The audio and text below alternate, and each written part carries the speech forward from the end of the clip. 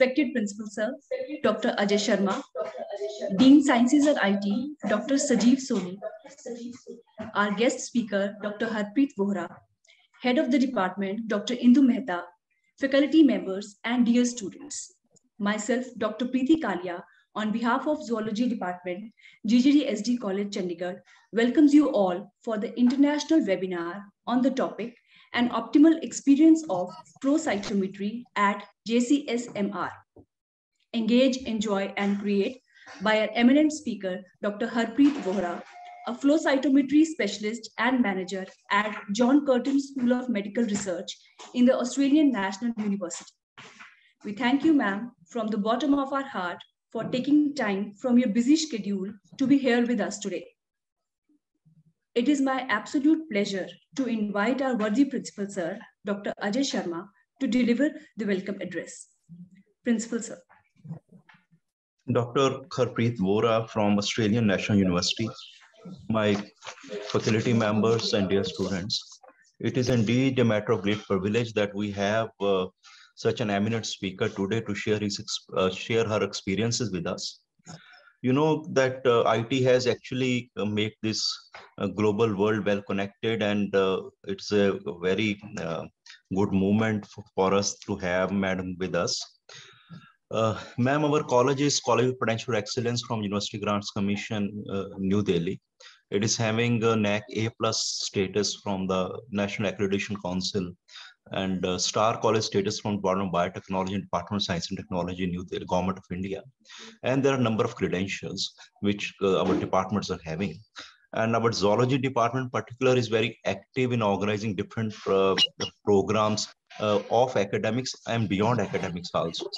And our sciences are now having research centers also in the area of physics, biotechnology, and chemistry and uh, in future we want to have more uh, program of this nature your presence certainly will be motivating factor for all of us especially for the young uh, budding scientists which are attending your program.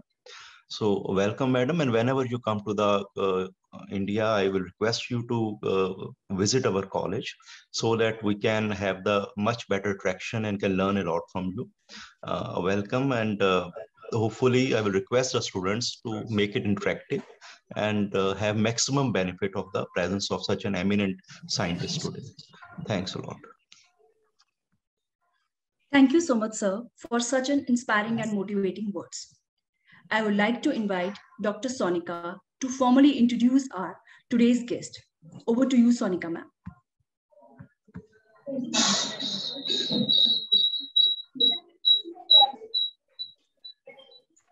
Uh, good morning, everyone. Thank you, Dr. Preeti.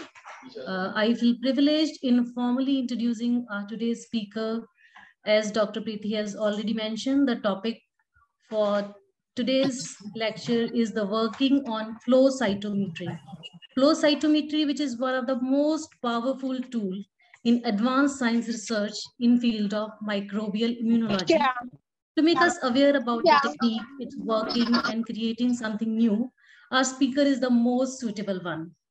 She is the woman of virtue and simplicity. I feel elated to introduce all of you formally with a very impressive and beautiful personality, proving to be an absolute example of beauty with brains. She is an eminent, established personality in the field of flow cytometry Dr. Harpreet Vohra, our today's guest. She has done her MSc in honors in microbiology and degree of PhD in the microbial immunology in the field of parasitic immunology.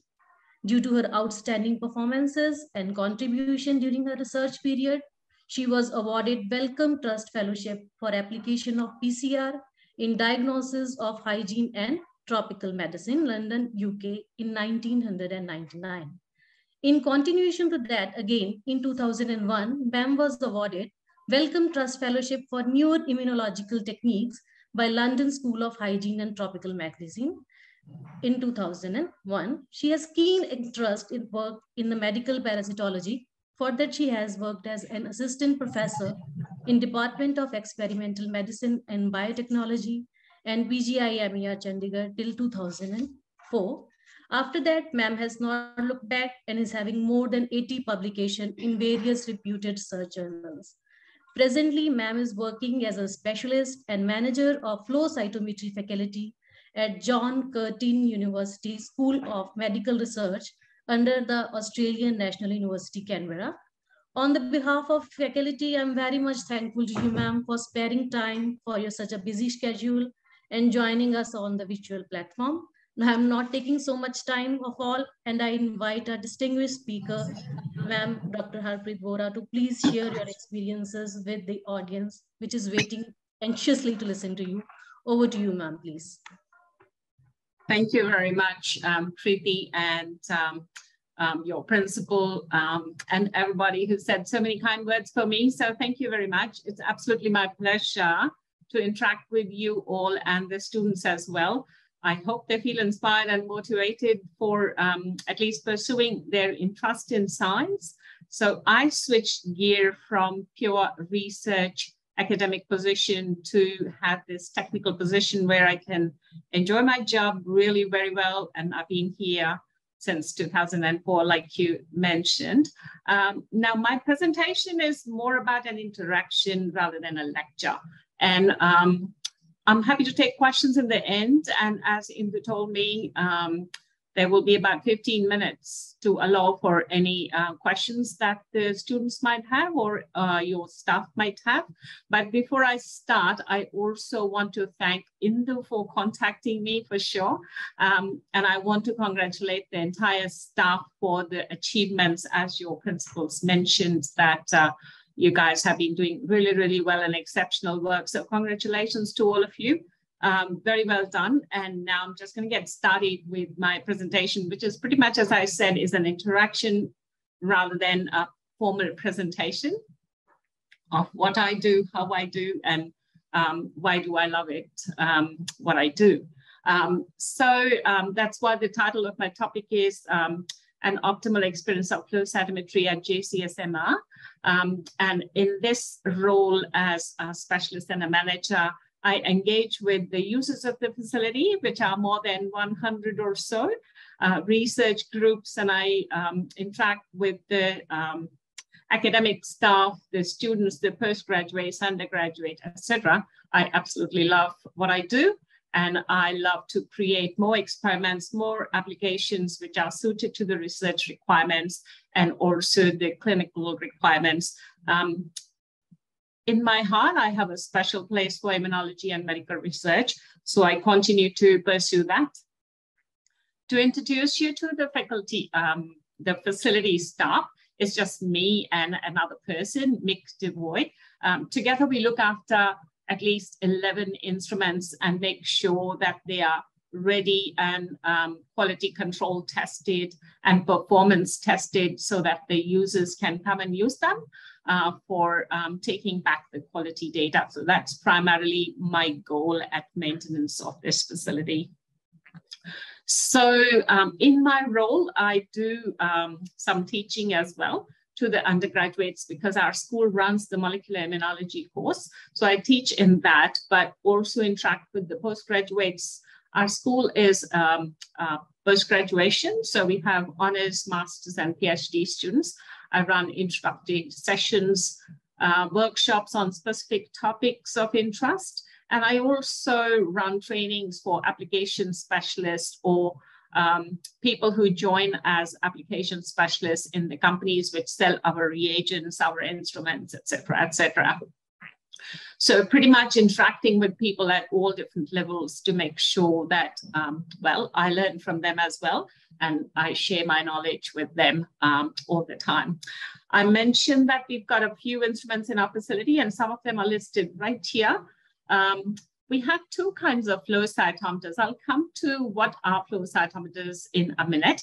However, um, just broadly speaking, we have two kinds of flow cytometers. One where you can sort the cells of interest back for any future experiments to culture them or to put them back in the animals or to see how they behave in the um, you know, by themselves or to extract any nuclear material from those cells. So if you need to recover the cells of interest back, then we've got what we call our cell sorters. But if you only need to characterize your cells, then we just have cell analyzers as well. We also have instruments which can take a photo of the cell as um, the cells go through the machine, and they take a photo of every single cell that is going through the machine. And these instruments are um, also known as image cytometers. So various versions of those. Um, I'm just going to be interrupting my uh, presentation with a couple of photos here and there just to keep your interest on and show you exactly what's happening here. So this was a practical that is run for undergraduate students where they are shown how to do uh, the staining of the cells, how to prepare the samples to run on the instrument, and then how to run the instrument, setup, etc., and how do you analyze the results. Um, the classes can sometimes be really big as well, up to 70 in a class. I know by Indian standards, probably 70 doesn't sound too much, and I've done bigger classes back in India, but he 70 is a good big number. We also run smaller batches of um, training sessions for uh, people who will be using the machines. So not being shown this time, but they will be using the machines 24 seven. Um, so they are trained to a point that first, they, they don't break our instruments and two, they can take good data back. So we do run different kinds of trainings as well. Um, so what I, I, will be talking to you today will be a little bit about the technique that I um, have expertise in. What can you do when you run this um, run your cells on that instrument, like what do you really measure? And um, what are the kind of wider applications that you can use this machine um, to get some, some information about your cells? And then, of course, um, because my expertise is pretty much in microbiology, I can talk about some applications in microbiology, but I'll just be limiting to the broad applications. Like I said, this is not a lecture lecture. It's more about introducing a topic to you, and I'm more than happy for anyone to um, send me an email after or for any other questions that you might have. And a couple of my recent works, which are some of my recent publications, I will talk about those as well. So first of all, what is flow cytometry? Well, we know that it is a technique for making multi-parametric measurements on the cells as they flow in a single file past the light source and how all of that brings together. I will follow up in the next slide. However, just going to say that, that we measure properties of the cells, which we use that information to characterize the cells. So we know that just in our human system, we've got hundreds of cell types. And um, you may not know so much now, but you know since COVID arrived that we've been talking about the cells which are important in um, combating the infections. Then there are cells which are um, doing different things in the body, all sort of immune cells and whatnot. We need to know the subtypes of those cells as well. And we need to characterize those cells to understand them a bit better. And hence, these instruments are extremely powerful in telling us the properties of that cell so that we characterize them. And then we can sort a population of interest to do more in-depth studying or more in-depth profiling of those cells. So I'll tell you a little bit about that. But because we run the cells one by one, obviously we can count them. Um, when the cells are running, the light from the lasers shines on those cells and the cells scatter that light. We measure that light to determine the relative size and granularity or internal complexity of the cell, which is very unique to every cell type, right? For example, your red blood cells are not as complex as, let us say, macrophages or your lymphocytes. And I'm not sure. I, I think you people come from a range of um, um, backgrounds. So I'm not going to go into specific cell, cell types here, um, but just going to say that every cell is unique in how it is made up. And that gives it a unique signature. And hence we can identify a cell based on that. Also, we can characterize the cell based on the molecules that are expressed on the surface of the cell or inside the cell. And on these machines, what we need to do is to characterize that expression, we incubate the cells with the antibodies which are directed to those molecules. And these antibodies are conjugated to the fluorochromes. So indirectly, we measure the relative fluorescence intensity that is associated with the cell which tells us the relative expression of the molecule on the cell. We measure not an average of that expression, we measure the expression of every molecule on every cell that goes through the machine. Pardon me. Because we can do that, we can also find out which cells are dead, which cells are living, and we can run the cells really, really fast as well.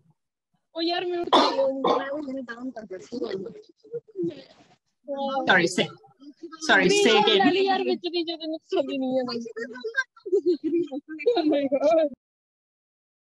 Sorry, I don't know what was that going on.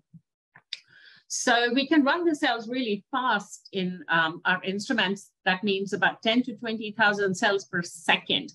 That means we can put through millions and millions of cells very quickly and get lots of information about these cells. And then we can collect the cells back of our, collect the cells back, um, the ones that we are interested in for any subsequent analysis. So pretty much the bottom line is we measure the light that is scattered, emitted, or absorbed by the cells to get information for all the measurable parameters of the cells. And I think I'll be talking about that in a minute.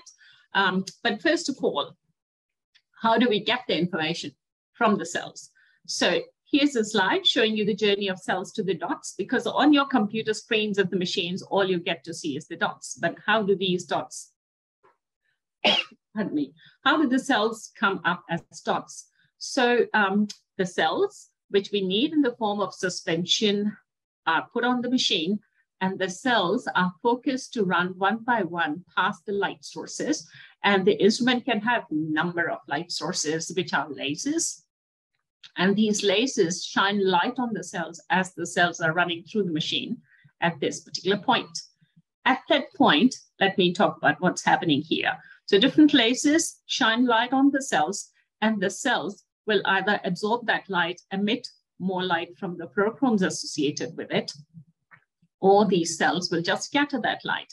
So all of that information with the light is going to tell us the different characteristics of the cells. So in the path of the emitted light, we put different filters, etc., to capture a light of specific wavelength, and we measure that light that light is converted by the electronics into a corresponding voltage pulse.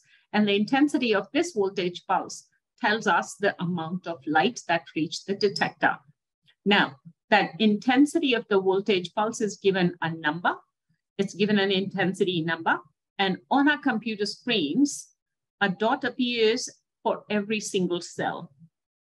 For example, I'm sorry. Oops. So for example, here, all cells which were expressing this molecule, that is CD3, got a high signal as compared to these ones. And therefore, all these cells are positive for the expression of this particular molecule. And also, if you look here, these are the dots, these are the cells which got a positive signal for this molecule, that is CD4. And so we characterize another cell type, which is CD4 positive. Now, all of these are subtypes of the lymphocytes, so I'm not going to get into that. But all I'm saying is on the computer screen, the cells that you have run, a dot appears for every single cell, and you characterize your cells based on the expression of cell surface molecules or intracellular molecules.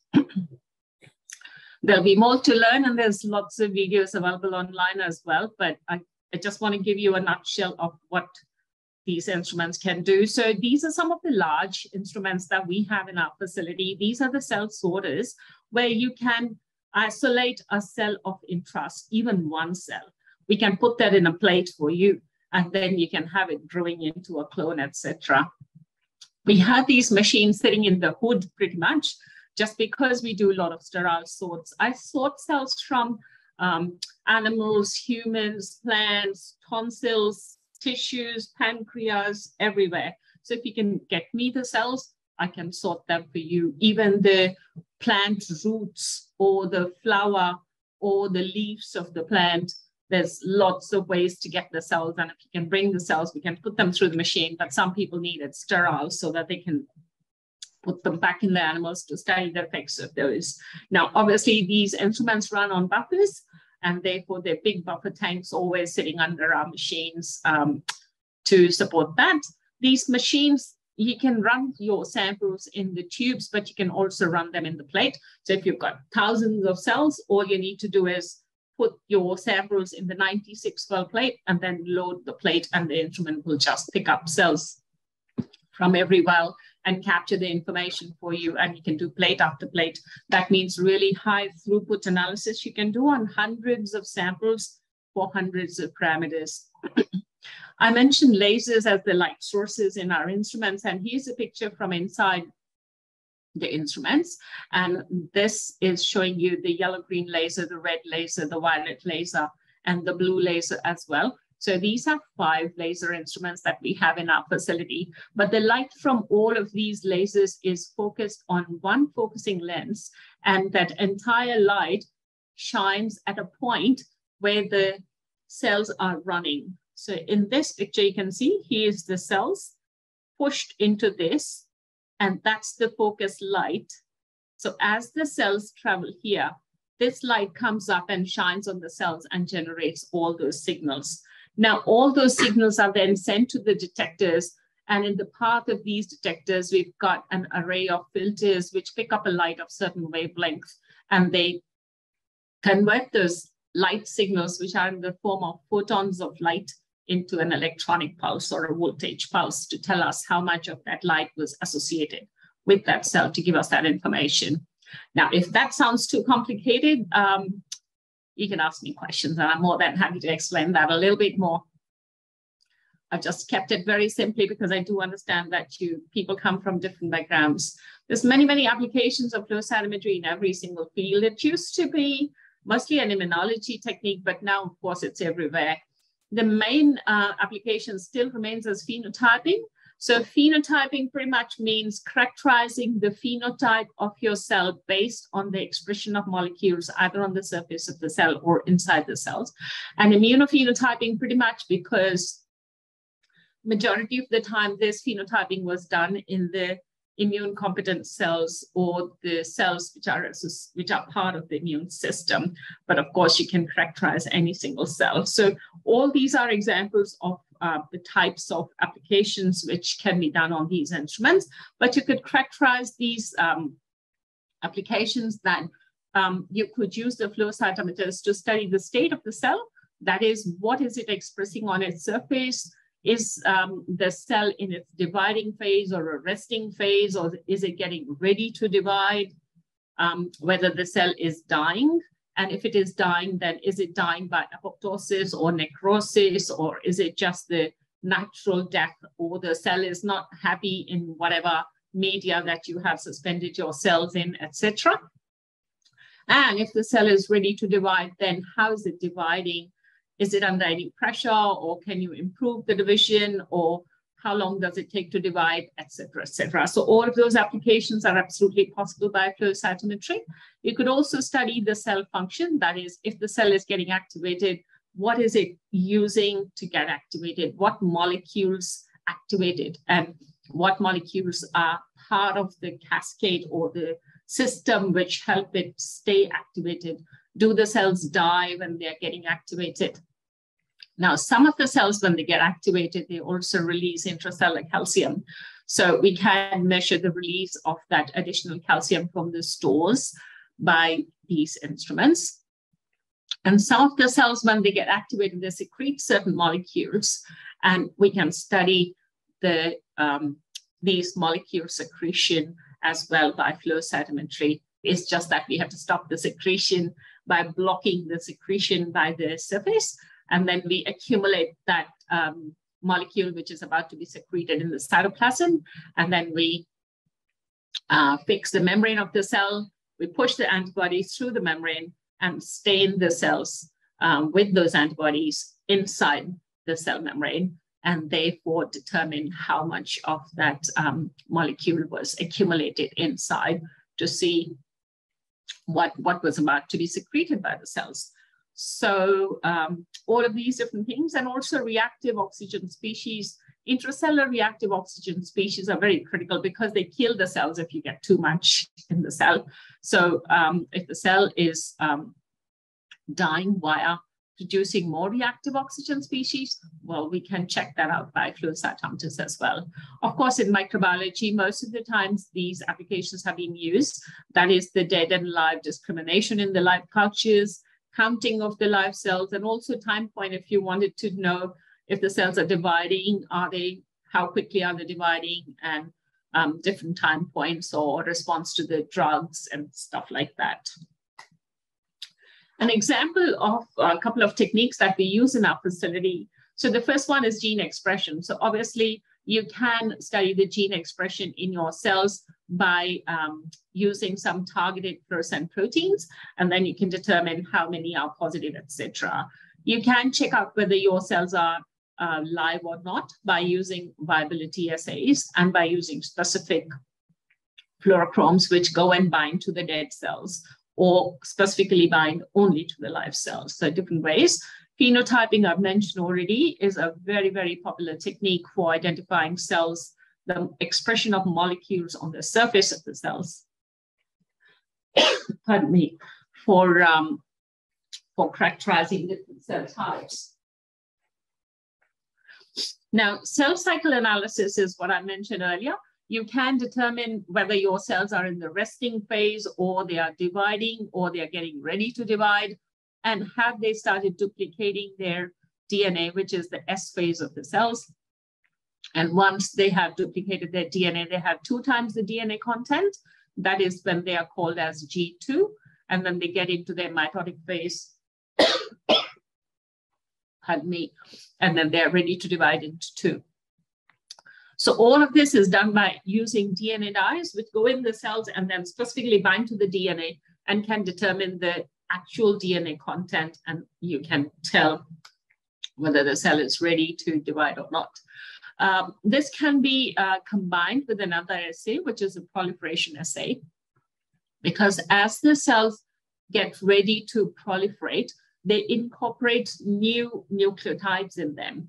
And if in the media we provide analogs to those nucleotides, the cells, the newly made DNA will have new nucleotides, which will be the analogs of actual nucleotides. And then we can stain the cells with those uh, antibodies which are directed to the analogs and therefore, we can then identify the newly incorporated nucleotides or the newly made DNA, which tells us that these are the cells which have only just started to uh, increase their DNA amount, and they are the ones which are ready to divide.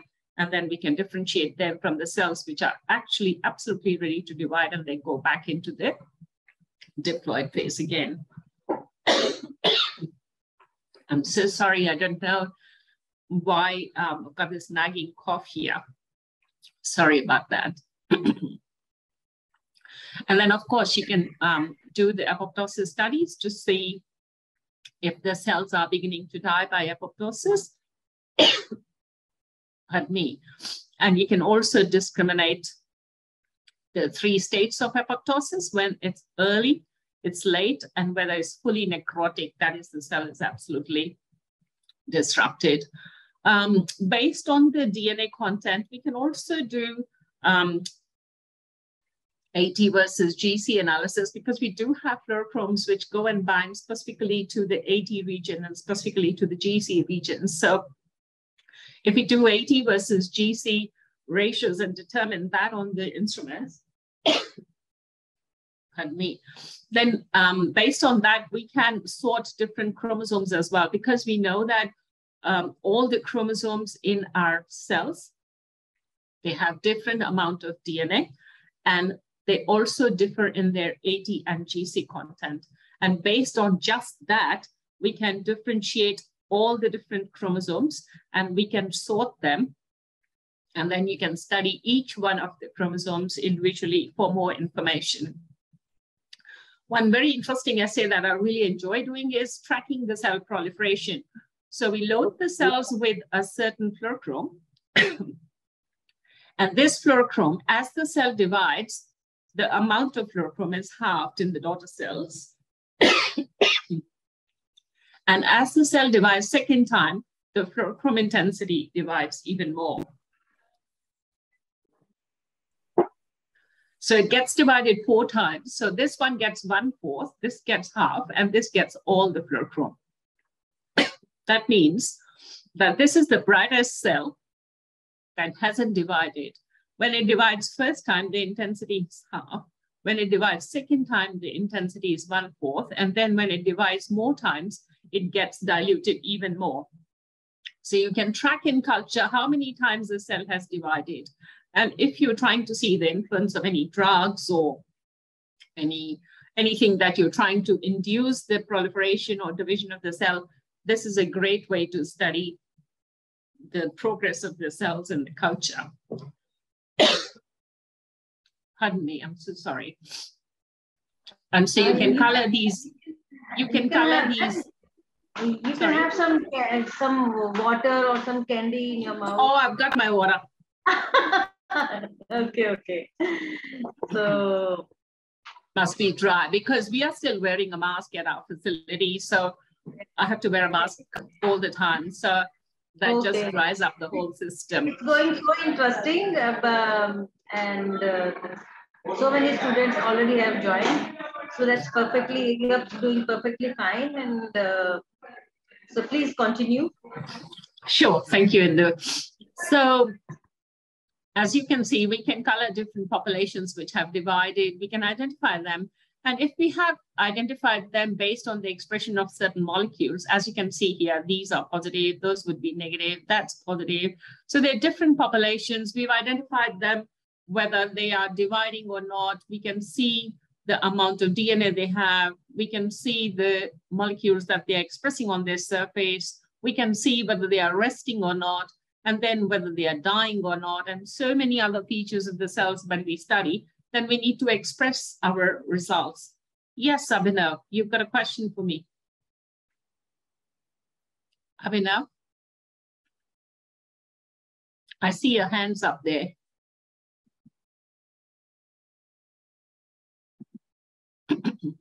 Sorry, I don't know what was that about. In case anybody needs a question, please, after the session, you may ask the questions. Good idea. Yeah. I did see a hands up. Okay, so I'll just continue. So once we've identified different features of the cell, now then you want to express your results as well. And to show the results, you can see here that this is one really good way to show the results as well. You can express them as phenograms or any other way, but if you are expressing results for many, many kinds of, um, in this case, donors, but it can be many, many samples, and you want to present the combined results of that many subtypes of cells. So see, there are about, I think, 40 listed subtypes of cells here, and all these subtypes are here. They are presented in a 3D space in a phenogram, as we call it. And that allows you to quickly compare these 40 subtypes of cells in different um, donors, for example. And you can see the differences straight away. For example, this subpopulation is this subpopulation, number one, which is naive CD4. So naive CD4 population one is much more in this donor as compared to this donor. But this donor has more of this population, which is 36 population, which is classical monocytes. So this donor has more classical monocytes and this donor has more naive CD4 cells. So this is an easiest way of comparing many different subtypes um, by quick um, phenograms. And you can see the differences straight away. This particular donor has high intensity of this subtype of cell, which is number 10 and number 10 is naive CD8. So all these donors are different.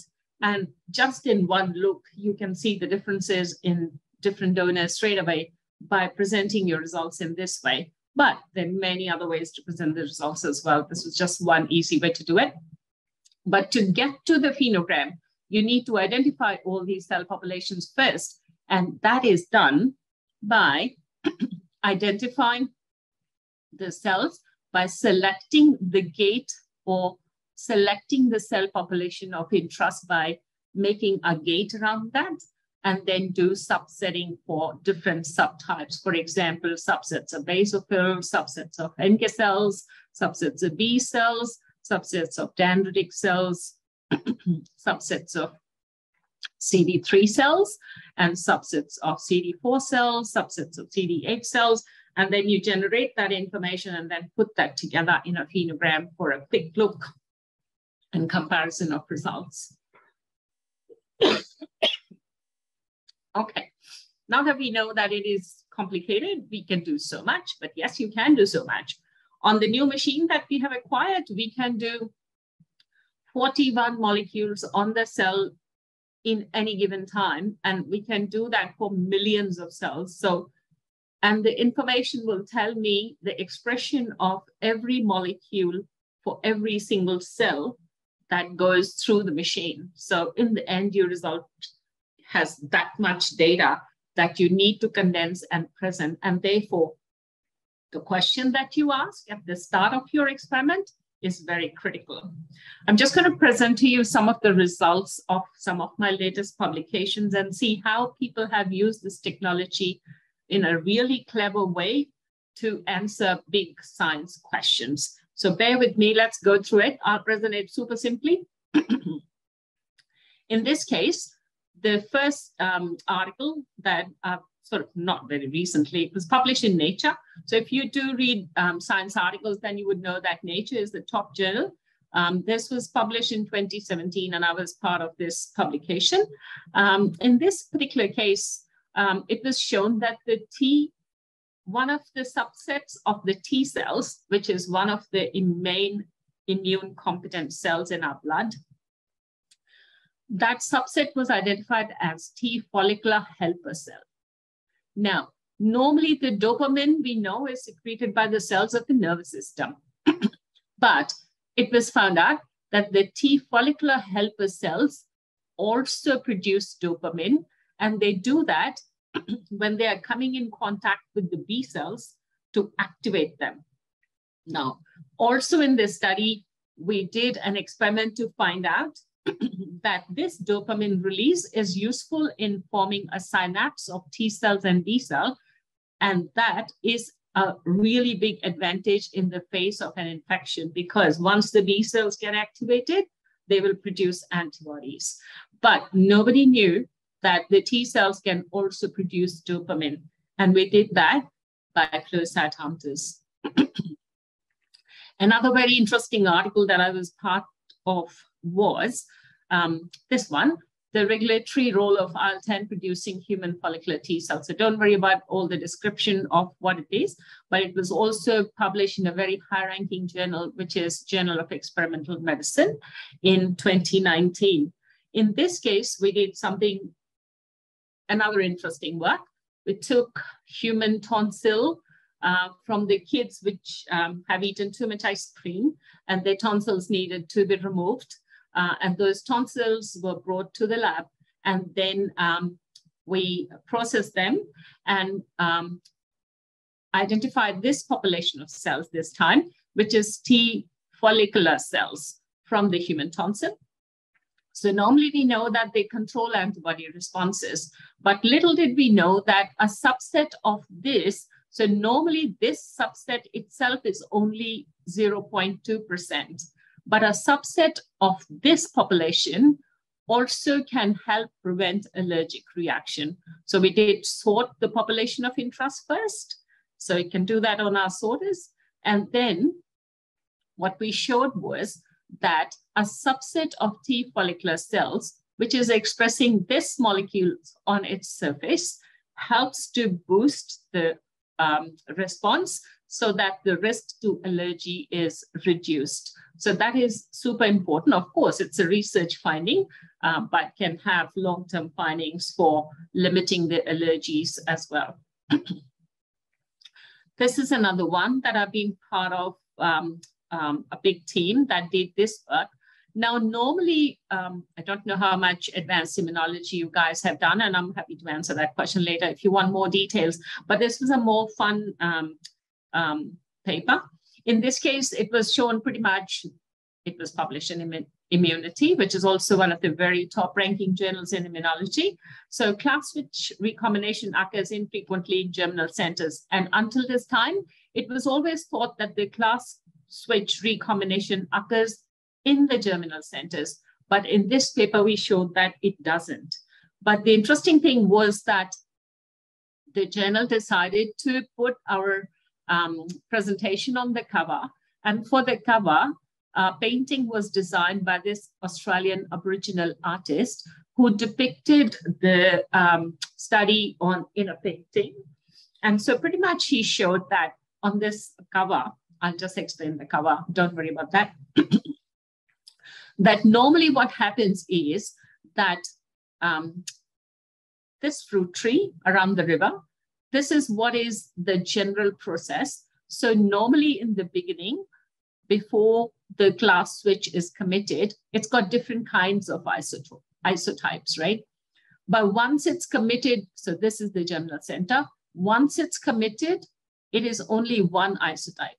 So that means this switch to being one only happens outside of germinal center, not in the germinal center. This is what that painting was about.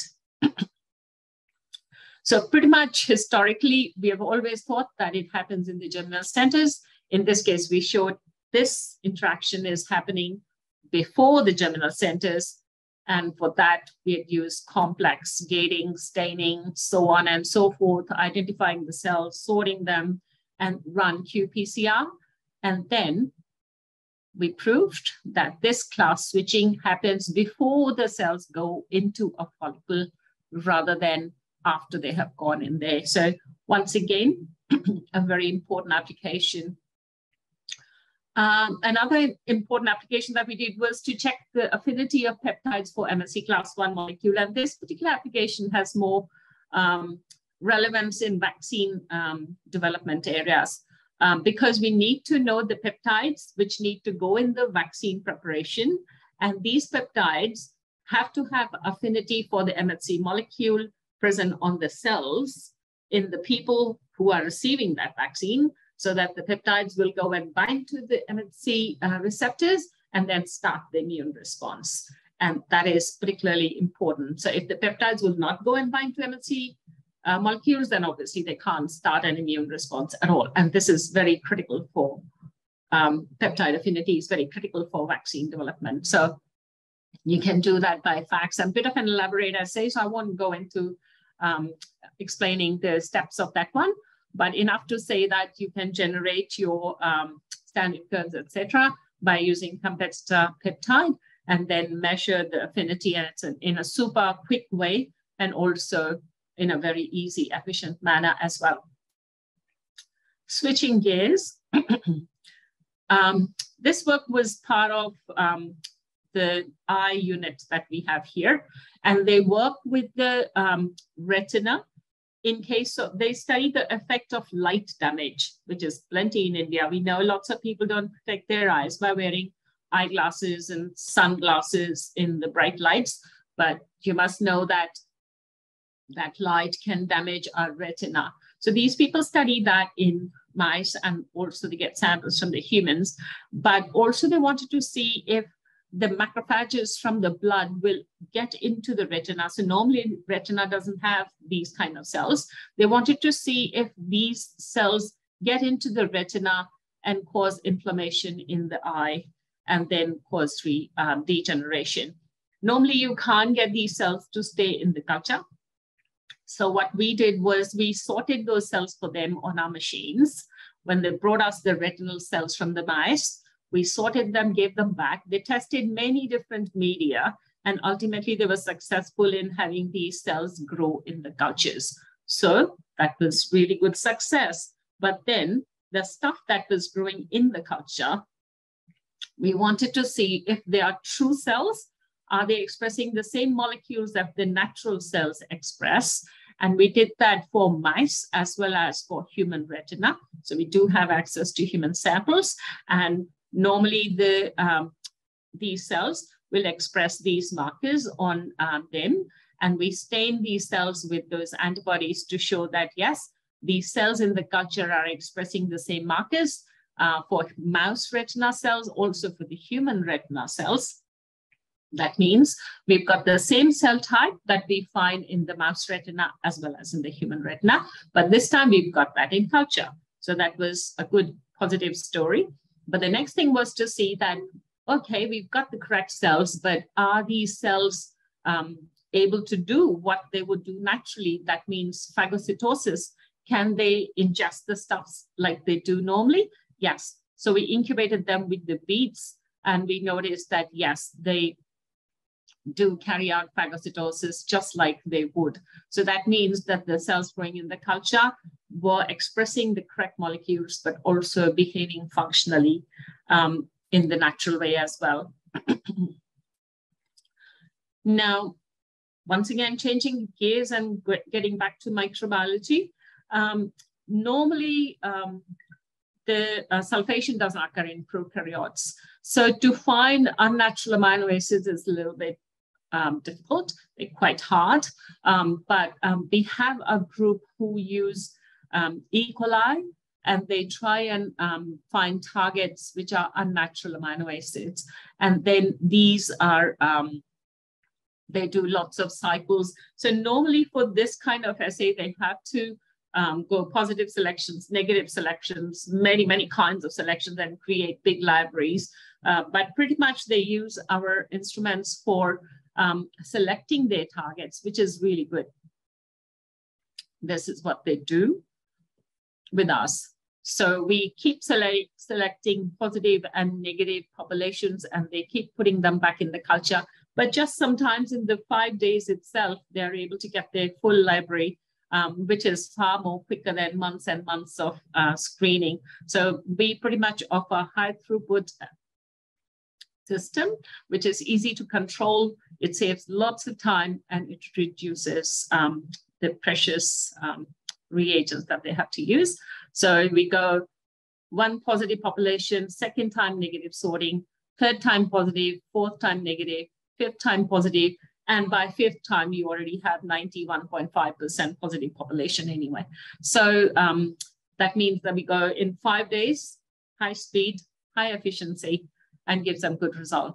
Now, the last of the thing that I'm going to mention is that I'm also part of development of um, a software which is uh, required for analysis of that much data when that gets generated.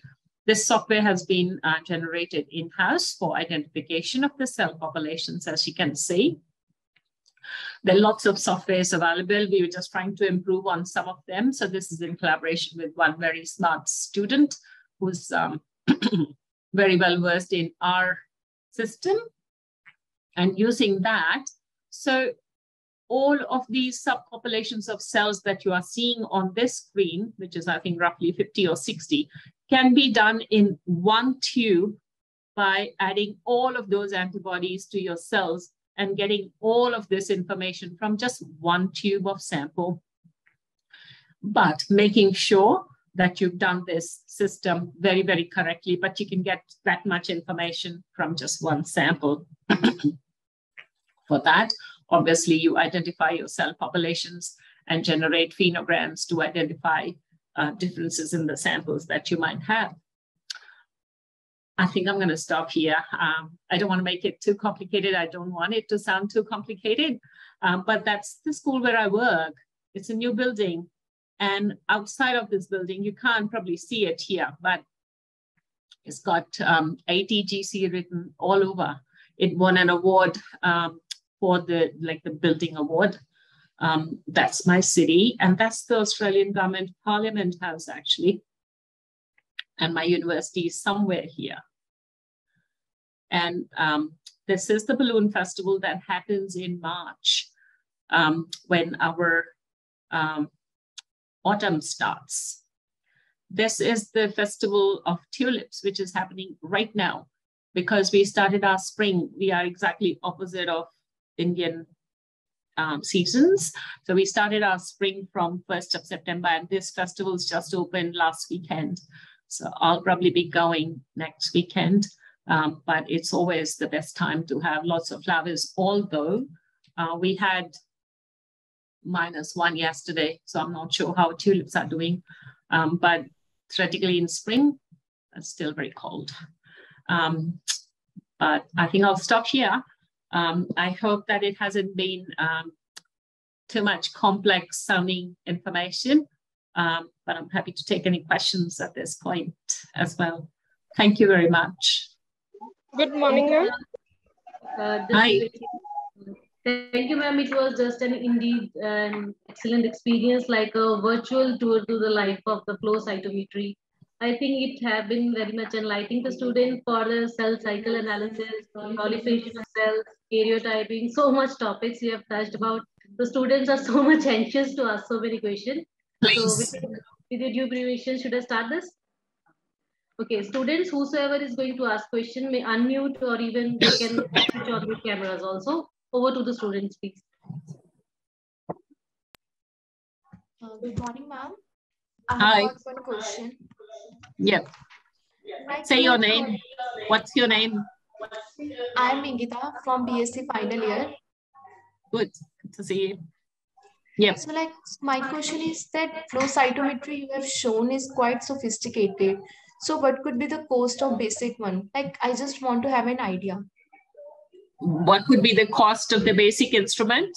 Yes, ma'am. So it can start from 100,000 US dollars. Okay, ma'am. So like it is interesting that this site flow cytometry has so much vast application. So like the processing of sample is different for different type of analysis. Correct. That is correct. The sample preparation is applicable to or is specific for the kind of analysis that you want to do. And so what could be the time for one sample to process? Um, it doesn't take too long. For the antibody staining, it usually takes about 30 minutes to 40 minutes, but you have to wash your cells and so on and so forth. Depending on if you have to get your cells from the animals, then obviously you have to process that part as well. So normally we start sorting at about nine o'clock in the morning, and some people sometimes have to come at 6 a.m. to start preparing their samples. So like, is it good possible that this processing could take days? No, no, no. It doesn't take days. No, Okay, no. It only Thank takes a couple of hours, not more than that. Mm, Thank you, ma'am. Welcome. Cyril, you can come up with your query. Good morning, ma'am. Hi, Sarah. Cyril, you may ask your question. Ma'am, I have a question. Mhm. Like, uh, what is the importance of uh, flow cytometer and how can the, uh, what is quality control in flow cytometer? Okay, so for quality control, we use performance tracking. We've got standard beads which are available from the companies, which we use to make sure that all the detectors are performing correctly, all the lasers are performing correctly. So we do all the background checks before we allow the users to start using the machines. And ma'am, why is it important? The quality control, Yes, ma'am. Oh, quality control is extremely important because if the sample doesn't work, then you don't know whether the laser did not work or the detection did not work, right? So we have to make sure everything is working to the best possible level so that your differences in samples can be picked up very easily as well then. Now, quality control is very, very critical. We measure the detection limits, we measure the background levels, we measure the electronic noise, we measure all little things that are in the machine to make sure. We even test our PBS sterility every day to make sure that we've got nice, clean machine for people to use. Does that answer your question? Anybody else with the query? Yes, good morning, ma'am. Hi, Kumud. Yes, good morning, ma'am. Uh, thank you for such an informative and lecture. Thank you, ma'am. And uh, I just Sure. wanted to ask, like, uh, depending on the sophistication of the machine, does that matter, uh, like, uh, for contamination or, uh, like, supposedly we are talking about uh, techniques as well, where we say that we have to handle the samples very carefully so that the contamination doesn't occur. So does that imply uh, apply to this technique as well? So if you're analyzing your cells, then contamination is not a thing. You can fix your cells and bring that in a buffer PBS and run on the machine. And then as the cells run, they go in the waste and we collect them in the um, bleach so that it is decontaminated. But if you want to recover your cells back, then you want to recover them nice and clean and not contaminated. And that's why we use sterile autoclave PBS in our machines. We want to give you the best possible cells without the contamination so that you can culture them in the labs and also put them back in the animals or get pure DNA or RNA or whatsoever from them as well. So that's why we try to have them contamination free actually for all purposes. Okay, thank you, ma'am. And ma'am, I just uh, I just wanted to ask. I had another question. So, uh, uh, like we say that this can be used in the diagnosis purposes. This technique can be. So, does it have to be a specific disease which has to be diagnosed, or uh, is it in general we can use it for diagnosis as well? So it can be used for diagnosis for any disease or any variation. For example, in cancer patients, it is used to see if the cancer cells are dividing, because it's dangerous if they're dividing, then you can sort the cells which are dividing to see what are the genes being expressed in the cells which are dividing. Can you suppress those genes? Those are the areas where the cancer research is working. But for the diagnosis and for the hospitals, as the cells are dividing, they're producing different things. You can determine that. Also, the profile, the general profile of the cells changes as well. Are they expressing some new molecules or something like that? That can be checked as well. Also, in certain cases, the number of cells increase maybe from 10% to 90%. So now, if you're determining a subset of cells, which has gone up from 10% to 90% in a certain disease case, then that will tell you that that definitely is abnormal. So abnormal populations in any disease condition is very important to know. And that is what flow cytometers are used for, to check out the correct proportions. And actually the normal ranges are published and available um, by WHO. Um, it's published. So we know the normal range of T cells, B cells, all of those things in our blood. And if things are abnormal, then you know that um, it has to be followed up for any disease or abnormality. Absolutely, these instruments are very, very important in the hospitals and they are present in all of those hospitals. And I actually am an assessor for quality control of those instruments in the hospital. So I do go and visit some of the hospitals as well. Okay, thank you, ma'am. Just to follow up with that. Where is Abhinav? Abhinav, are you having question? You can type in the chat box also in case there is any network instability.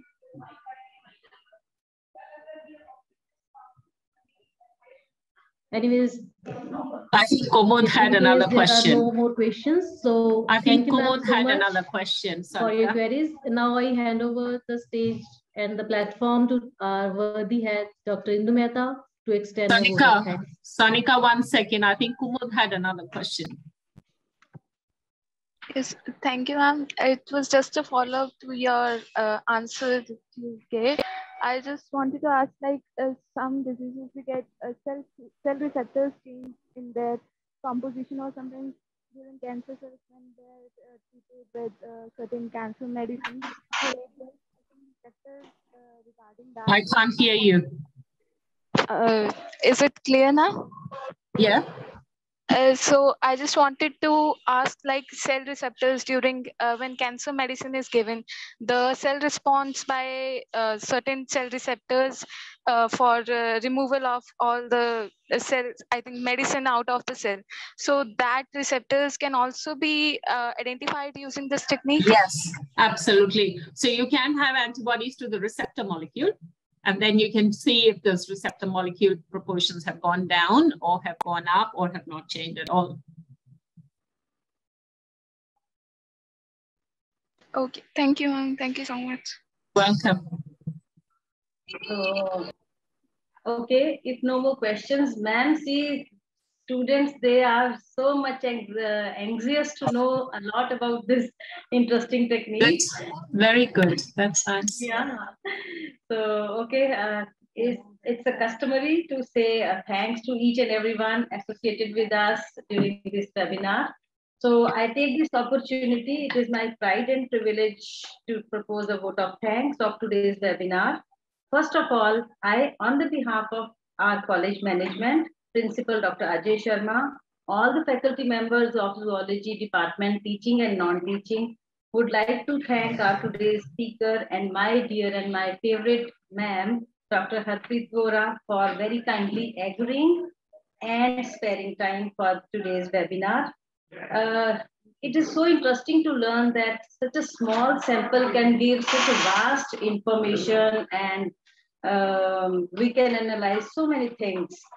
So it is always a delight to listen to you, ma'am. The talk was very informative and enlightening. And you have put it in such an interesting manner that it has made the students so very, you know, awakened. So thank you very much indeed, ma'am.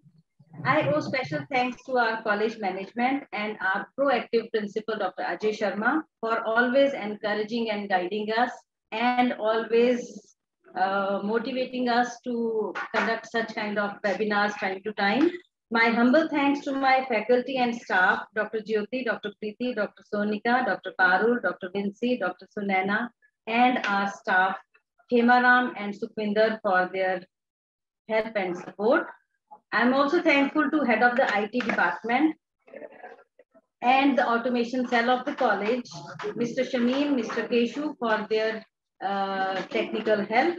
Last but not the least, I express my sincere thanks to today's valuable audience, the teachers, my friends, and my students for not only uh, actively participating, but also making the best use of this opportunity. I'm sure the deliberations made by the speaker will be very well utilized by the audience in times to come. A big thanks to one and all. Have a nice day. Now, uh, I...